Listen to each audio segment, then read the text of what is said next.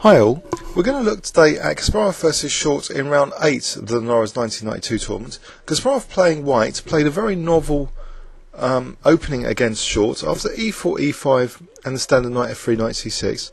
Instead of playing bishop b5, which had been the Ruy Lopez, or bishop c4 with a view of playing, say, the Evans Gambit, which is another surprise weapon Kasparov's used, he instead plays d4, and this is called the Scotch game. Um, after e takes d4, knight takes d4, Short played bishop c5, and one of the mainline moves here is knight takes c6 here, where black would play queen f6. Kasparov actually plays bishop e3 here, which has different points to it. It's immediately threatening um, knight takes c6 and then bishop takes c5, so black has to do something about that. Short played queen f6 here.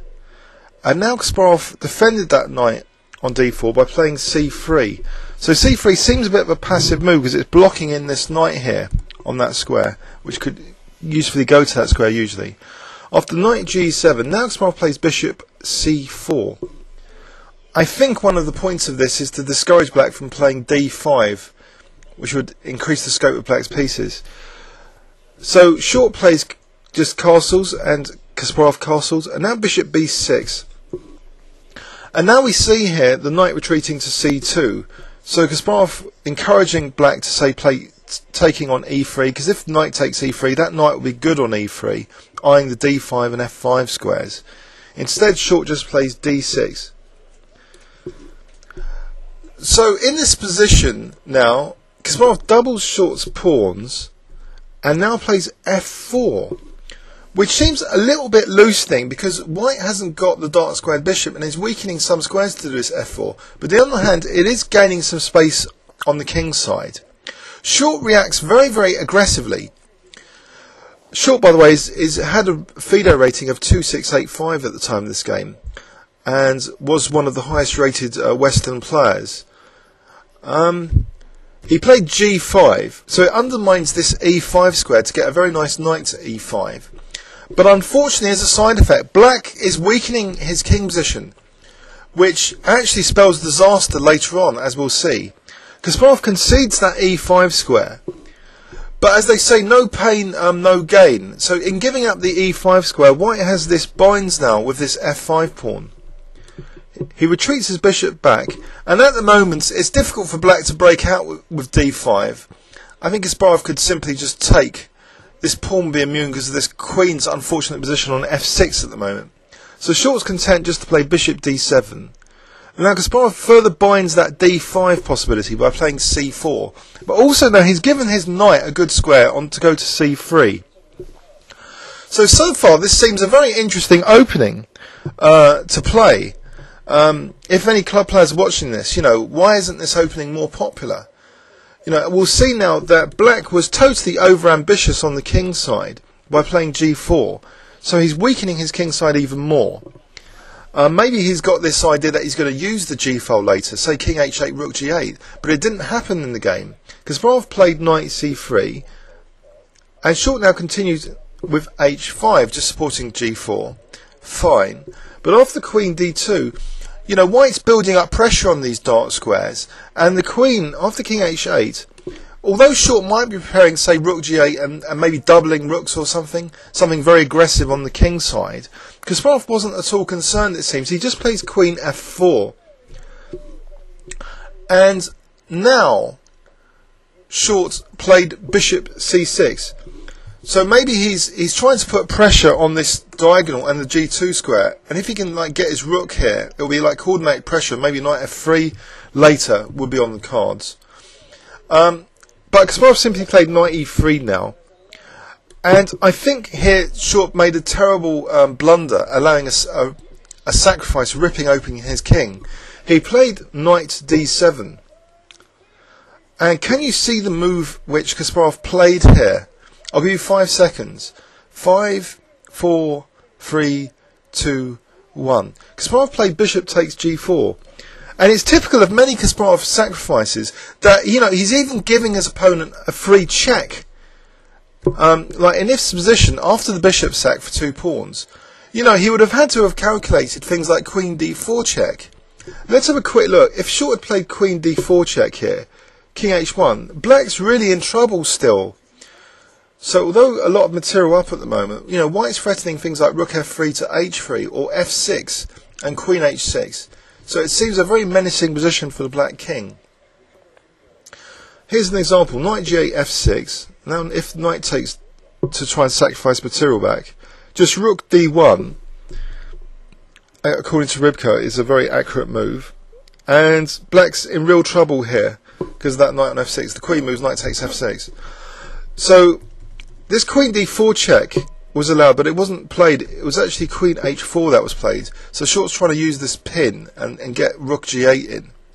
Now here, um, another move which Kasparov plays, so he's giving up more material with another quiet but killer move coming up. So he plays rook f3 with the idea of rook h3. But he must have factored in Short's reply, which is very, very tactical.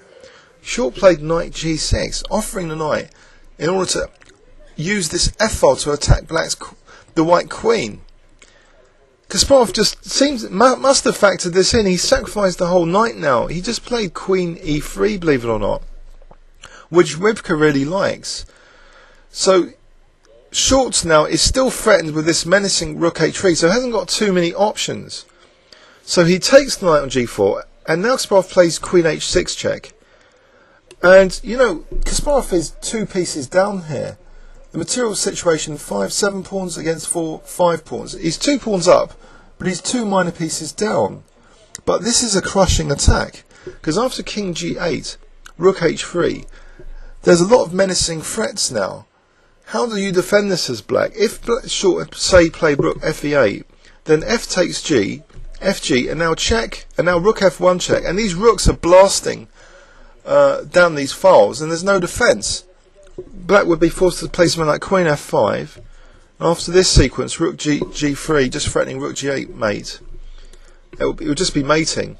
So this is really, really tricky for black. So that king position, even though two minor pieces up, Short here actually played queen takes h3. And after g takes h3, it's not so simple still. But Kasparov plays very, very accurately. He plays f6 here, so he's threatening mate in one with queen g7. So short sacks back. And, you know, he's got some material for the queen. It's not all over just yet. Rook a8, and now king h1, again with menacing threat now of rook g1 check. So the attack continues with just rook and queen still. And after knight g6, Kasparov starts throwing in the kitchen sink. Basically, the kitchen sink being these two pawns. You'll see now he uses his h pawn, the one on h3. After rook e6, queen g5, so the threat now is h5. So the short's continually under pressure in this game. After rook fe8, h5. Rook e5, now queen h6. So the knight can't really move because of this rook g1 check. So short plays rook takes e4. So he's trying to fight back against white's king to, to sort of do something with his three pieces here, three or four pieces. After knight takes, rook takes, there is now a threat of rook e1, double check and mate. So Kasparov cautiously plays king g1, and after knight e5, now these three pieces seem to be working well together. You know, black might be threatening things like knight f3 check, rook g4 check, so it's not all over, but Kasparov plays queen g5 check, after king h7, queen f5. And after king h6 now, rook f3. So he's squashing black's counterplay a bit. Rook e2 was played. The menacing threat of rook g2 check. But Kasparov, he's accurate. He plays queen f6 check. After king h7, queen g5. So he doesn't mind if black played rook g2, he'd just snap that off and just he'd be the exchange up still, winning that endgame. So short plays bishop e4, and now h6. So these pawns are fantastic for, for attacking. So the threat now is again queen g7, mate. So bishop g6, and now more of the kitchen sink is thrown at short with h4. So now rook e4, threatening rook g4 check, winning the queen. Kasparov factors this in. He just plays h5. So it's lovely how you know, just factors in all Black's um, counter-attacks. He gives up his queen to go into this endgame now, the exchange up. And this endgame is fairly hopeless for Black. After b3, Short resigned.